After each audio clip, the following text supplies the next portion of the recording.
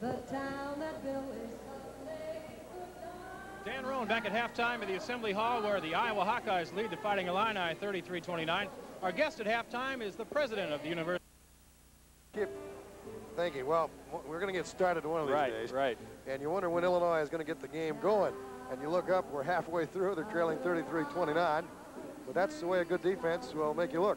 Yeah, you look like that the whole ball game unless something happens. Illinois going to have to do something. Iowa's switching defenses, of course, and that's a bit confusing from time to time, but eventually you're going to figure that out. What they're going to have to do is start getting the ball to Eddie Johnson and, and getting some points for him. He's had a couple of good shots that just rolled around and wouldn't go in. Keep putting them up there, and eventually they're going to fall in. Hopefully that's going to happen for the Illini, fans, because if it doesn't, this could be a long second half. You're watching and in the background the Medicare 7, 8, or 9 a group composed of University of Illinois faculty members and townspeople from Champaign-Urbana and surrounding communities. Points, making it 18 to 14 before the Illini tied it up at 18. But Iowa now has carved out a four-point lead at halftime, 33 to 29. The second half of the game will be getting underway in just a few moments. Well, we won tonight, but it was quite a fight. Now it's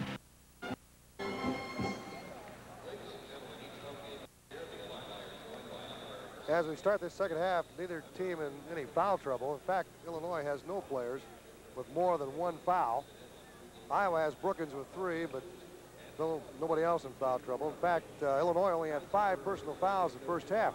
That's kind of unusual in itself. Illinois, That should be a good sign. yeah, it should be, but here we are, four points down, just about ready to get going. I want to apologize for my voice tonight, but so far I've made it longer than Lindsey Nelson did in the Cotton Bowl. I think you're doing a great job. Let's pause now five seconds for station identification. We'll be starting along with Mark Smith, Rob Judson, Reno Gray, and we'll have to see who the fifth one is going to be. It'll be Griffin or Holcomb. An idea, might be Holcomb.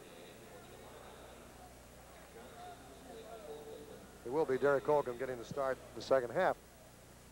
So a little different lineup that started the game for the Illini. Mark Smith took a little vacation through the first 11 minutes for missing practice on Tuesday. The Illini only had 23 shots in the first half, Yeah, shooting percentage is not bad at all. It's, but they not a whole lot of shots. yeah, almost 47%. They just have to get a few more off. Iowa goes with their starting lineup. Waite, Brookins, Gannon, Arnold, and Kevin Boyle. And we're set to play basketball. It's Iowa 33, Illinois 29 as we start the second half. Holcomb jumping against Brookins. Easily to Johnson. Nice pass to Smith, who missed it. And that's the bad way to begin the second half for the Illini. Yeah, let's They hope that's that not an omen. cold. They had it cold. 33-29 it remains. Well, what a pass. Super pass by Johnson. Arnold almost surprised Vince Brookins with the pass. I think everybody's beginning to wake up here. We might get some basketball. Well, the Illini might still have a little jet lag. They had a long trip back from Hawaii.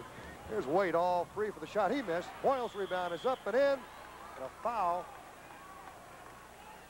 underneath Nick on Judson. Illinois. 3-0. Rob Judson picks up the personal, and the bucket counts. Here's another look. The action inside. Kenny Arnold to Waite, who misses the shot, but there's Boyle for the rebound, and Judson pushed him, and the bucket went in. Iowa quickly opens up a six-point lead, and Boyle can make it seven. He's the leading scorer in this game with 10 points. Former star at Chicago St. Laurence. 36-29. The lead is seven as well. That's actually that's Burbank, St. Laurence, a suburb of Chicago. The St. Laurence long a power in the Catholic League. Boyle brought him down here to the assembly hall twice. Lou Henson wasn't too thrilled about the foul on Judson. Rob's out of the game. Range is back in. Eddie Johnson steps on the end line. Another mistake for the Illini. It's Iowa ball. They lead by seven. Why's the ball out of bounds over there? I don't understand that. I don't know what that call was.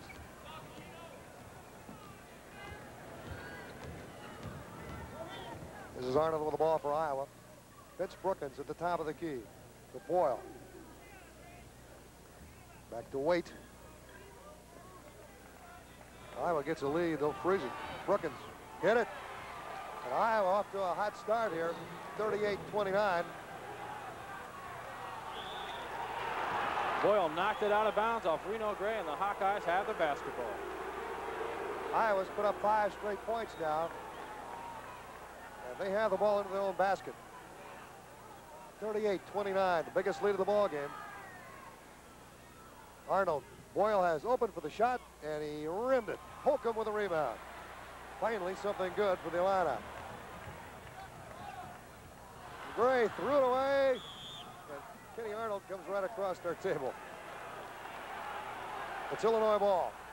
Perry Range to throw in right in front of us. Kevin Bontemps is going to check in, though, to replace Reno Gray. Lou Henson didn't like what he saw then. So Range and Bontemps are the Illini guards. 38-29. Illini have yet to score here in the second half. And Range takes care of that. As you were saying it, 38-31. you're certainly right about not falling too far behind an Iowa team because you saw what they did at the end of the first half. They'll do exactly the same thing with a lot of time left. Pass in again and is slapped away by Perry Range. Iowa keeps the ball. Good help by Perry Range that time. He's got Boyle in the man-to-man -man defense, but he came over to knock the ball away from Gannon that time. They're going to zone the inbounds play. Inbound to Boyle in the corner. Not Arnold. They'll take their time. They lead by seven. Long cross-court pass to Brookins, who fires.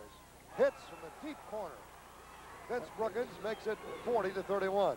That was a design play. Don't think it wasn't. They screened off Eddie Johnson, who was Illinois' wing defensive man, and Brookins was wide open out there in the corner. 10 points for Brookins.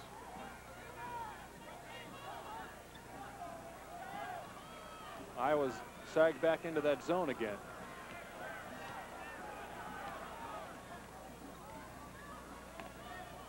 Got to move it quicker than that to get a good shot.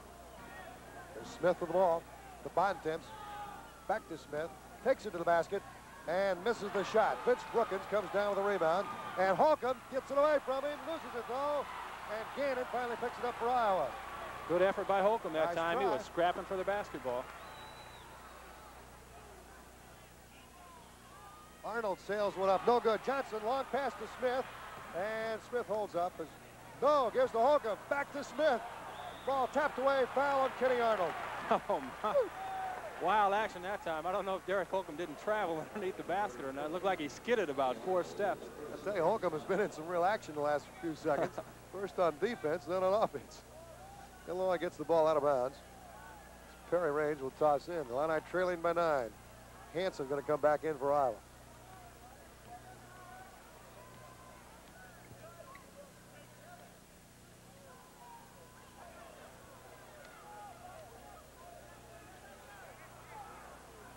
Illini just passing the ball around. Those Range shoots, no good. And Waite picks up the loose ball in the corner. Ball sailed right by Derek Holcomb. Kevin Boyle brings the ball down against Perry Range. Boyle 6'6".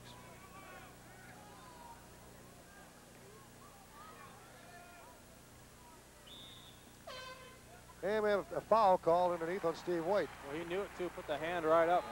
Offensive foul pushing off on Holcomb inside. Second team foul at Iowa. Hansen in, and Kenny Arnold sits down. Hansen, 6'5 freshman.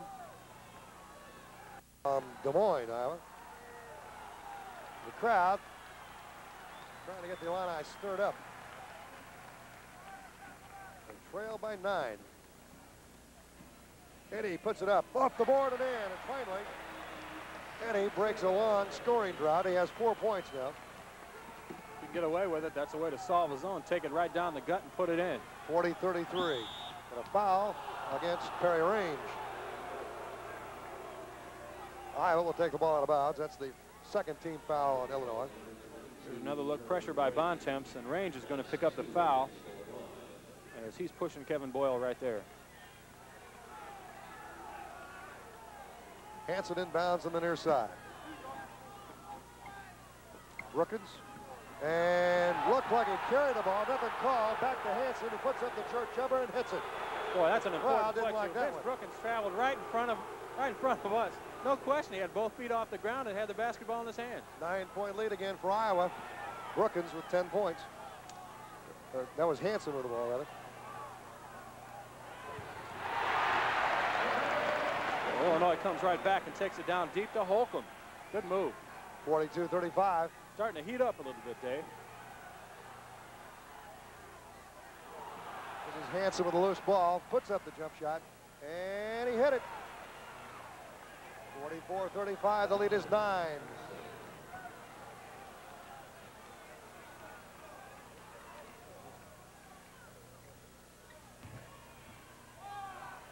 Johnson shot from the corner. Good.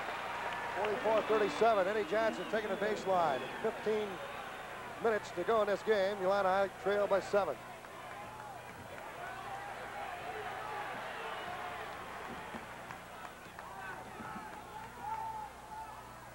Here's Bob Hansen the ball, drives again.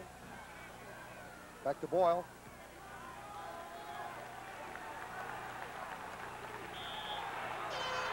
And a foul called away from play on Mark Smith. Cut Mark Holding down inside. I think he had hold of Vince Brookins, so Illinois picks up another personal foul. Foul number three against Illinois and a timeout on the floor with 14.49 to go. It's Iowa 44, Illinois 37.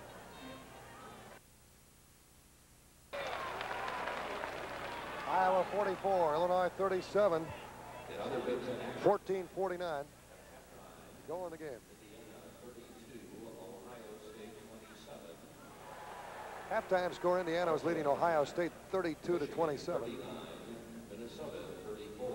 And Michigan leading Minnesota at halftime 39-34. Indiana playing at Ohio State Right. without Mike Woodson. But as Lou Henson says, losing a key can player can pump the rest of the team up higher. And Iowa's doing okay right now without Ronnie Lester. They sure are. Kevin Boyle, Missed that one. Holcomb is fouled by Vince Brookins. That's four on Brookins. That's the first semblance of foul trouble anybody's had. Nobody else has more than a couple. And Brookins was caught pushing off. The shot goes up by Boyle from the wing. Holcomb is there, and Boyle, or uh, Brookins rather, pushes him over the top. So Iowa put the twin towers in there, bring in Steve Krafcisin at 6'10". They have Steve Waite in there at 6'10". Waite moves pretty well, Dave. He's not that slow, but Crafts isn't no speed merchant in there. Maybe Illinois can take advantage of the quickness. Here's Holcomb, hooks it, hit it. Boy, we haven't seen that in a while. Derek Holcomb brings the Illini back to within five with 14-14 to go in the game. 44-39 Iowa. Boyle brings it down against Perry Range. Mark Gannon now for Iowa. For Boyle.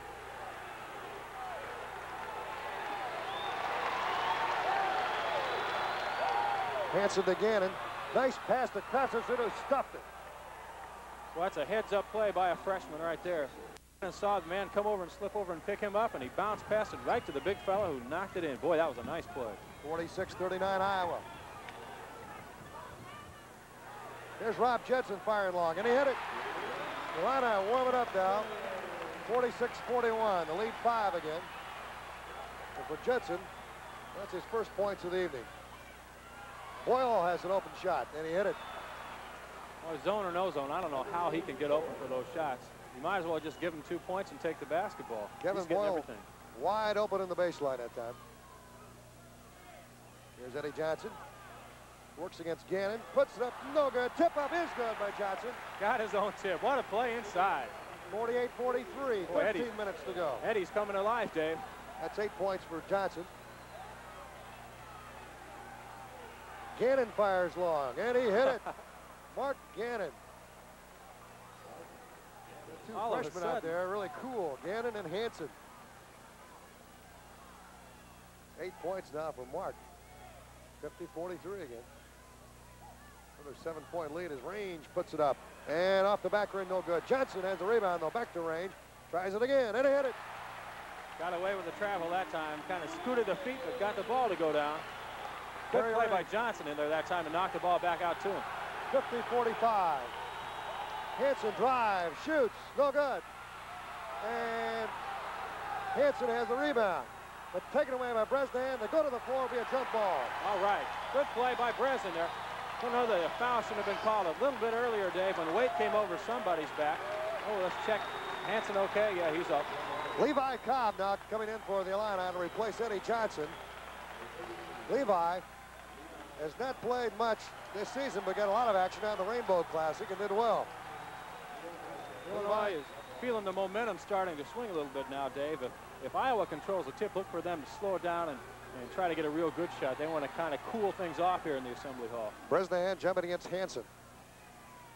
And Range picks up the ball as Bresnahan gets the tip. Big trip down this time. Illinois needs a bucket. This is Levi Cobb, Derek Holcomb.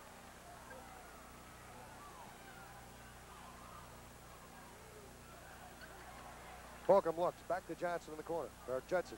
He pops. Good. 50 to 47. The lead is three with 11.42 to go.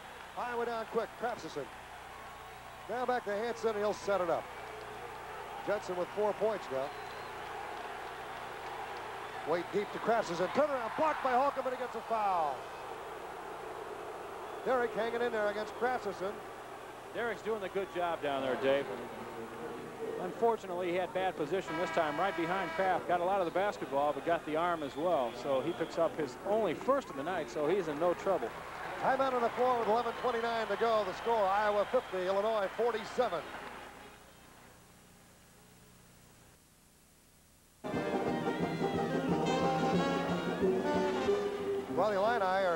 Close as they've been since late in the first half. There's 33-29 at halftime. Iowa immediately scored the first oh, five points of the second half. Let's see. Yeah, five straight points. Illini now cut it to three, 50 to 47, but Krafcisin at the free throw line with two shots coming up. Kenny Arnold came back in the lineup during that timeout for Iowa. Waite sat down. And Krafcisin misses the first free throw. That's good news for the Illini at this point. The second. Good. 51-47. Iowa pressing.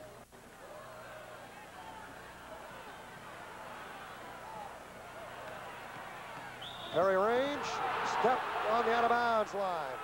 Give credit that time to the freshman, Bob Hansen, for forcing him out. Trying to go around Hansen. Couldn't do it. And the turnover gives the ball back to Iowa. And Judson sits down. Eddie Johnson back in. Uh, make it Reno, Reno Gray. It's Gray, Bresnahan, Holcomb, Johnson, and Range for the Illini right now. It's Boyle. They've done some switching. They have Brez on Boyle now. Great block by Holcomb, but Gannon comes up with a loose ball. Oh, Holcomb put it right back in Krafcisin's face that time. Bresnahan on Boyle, Perry Range has uh, Gannon, and Arnold's belongs to uh, Reno Gray right now, or did. Arnold, a foul called on Holcomb. That play had already passed him by as Derek turned and Arnold went into it. Neil Bresnahan trying to coach the referee a little bit and see what's going on down there. Two shots coming up for Kenny Arnold. Boy, Arnold showed the speed that time. He went right by Reno Gray, just took that baseline like he owned it. Kenny Arnold, sophomore from Calumet High School in Chicago. Been averaging 13 points a game. Gets the first free throw to make it 52 to 47. Now it's just three points in this game. It four. 53-47, and just like that, Iowa back to six.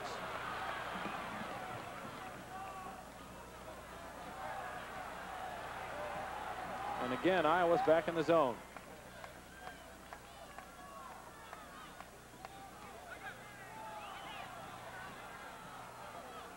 Range. Reno Gray to Bresnahan. Fires from the corner.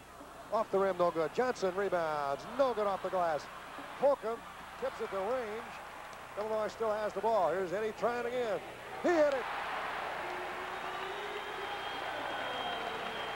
Eddie's better that way, not using the glass.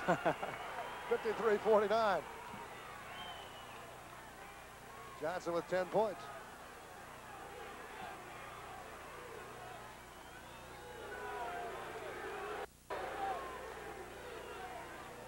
Just under the 10-minute mark now as Arnold puts it up and in. He scooted right in there. Lou Henson wants a travel call, but I didn't see any travel that time. Kenny Arnold just taking Reno Gray right to the bucket. 55-49 Iowa. Illini just cannot break through that lead. Oh, Holcomb didn't see it coming, but recovers in time the tip of the Johnson. Gray puts it up. No good. Gannon hauls down the rebound for Iowa. So the line I come up empty on that time down the court.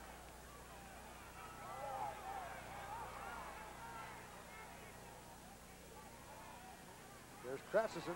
Dumps it off the Boyle, hooks it up there real good, but draws the foul. Once again, Boyle's in the right place. A good pass by Crafts and Boyle breaking right down the lane. And he had a wide open path and got fouled by Bresnahan. Bresnahan, that's his second foul. Kevin Boyle at the line. He already has 13 points tonight. The leading scorer in the game. He's got two shots coming up.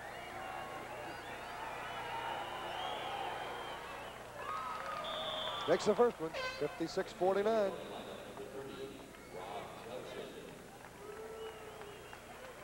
Bob Judson back in. Perry Range as Lou Henson juggles those guards around. Check Boyle's free throw shooting.